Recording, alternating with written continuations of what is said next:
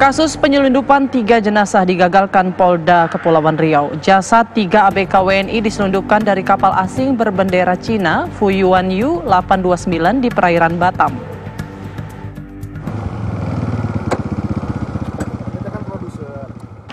Tiga jasad ABK WNI dibawa dari perairan perbatasan Singapura Indonesia dari kapal berbendera Cina Fuyuan Yu 829.